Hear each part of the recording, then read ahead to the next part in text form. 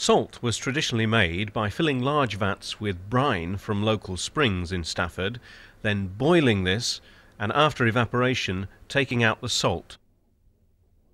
To meet the needs of industry for large quantities of salt at low cost and consistent quality, salt production has developed from the evaporation of brine in open pans to today's highly automated vacuum plants.